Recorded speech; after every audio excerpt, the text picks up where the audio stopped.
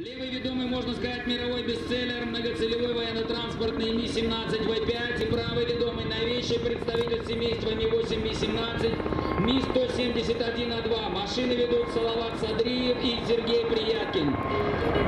Первый ромб замыкает новейший средний многоцелевой вертолет Ми-38-2. Его пилотирует заслуженный летчик-испытатель Владимир Кутанин.